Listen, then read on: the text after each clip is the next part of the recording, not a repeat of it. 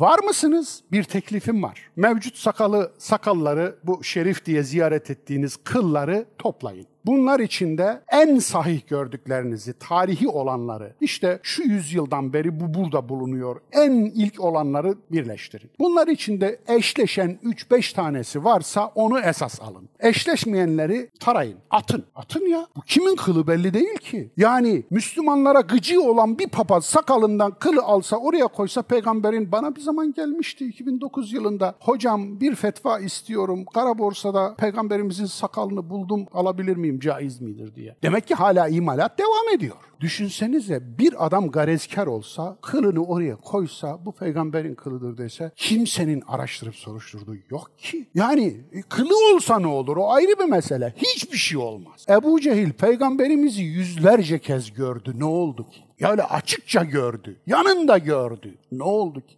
Münafıkların reisi ölünce peygamberimizin hırkasıyla gömülmeyi vasiyet etti ve gömüldü. Ne oldu ki? Allah reddetti. Dolayısıyla bunlardan bir şey çıkmaz. Adam adam olmaz. Onun için peygamber kıl değil akıl bırakmıştır. Eğer peygamberin bıraktığı akla sahip çıkmıyorsan, kılına sahip çıksan ne olacak? Çıkmasan istersen protezle o kılı diktir kafana. Ondan da ayıklarsınız, geriye kalanın DNA'sını çıkarırsınız. O DNA'yı ben Seyit'im diyeni çağırın. Şu sahtekarları bir tanıyalım. Var mısınız? Dürüst müsünüz? Yalan söylüyorsunuz ama.